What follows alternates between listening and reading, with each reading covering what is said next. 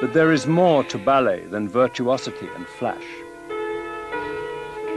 In class, his fellow dancers saw a different Nureyev. For although he applied himself ruthlessly to the task of acquiring and maintaining his classical technique, Nureyev would struggle to the end of his days for the placement, the whole physical geometry of ballet that had been instilled into his colleagues as children.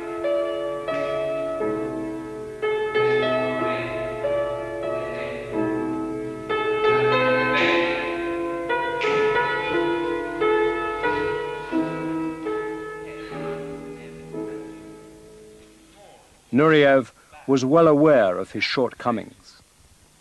And unlike his adoring claque, never fell into the trap of believing everything that was written about him.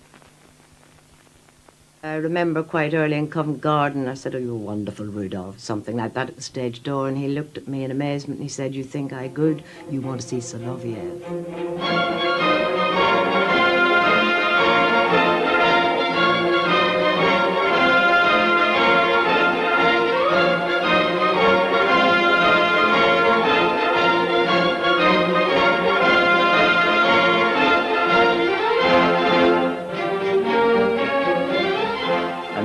Was right.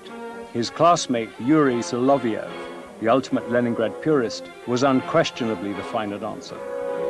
Whilst for sheer thrilling bravura, the Bolshoi's Vladimir Vasiliev reigned unchallenged.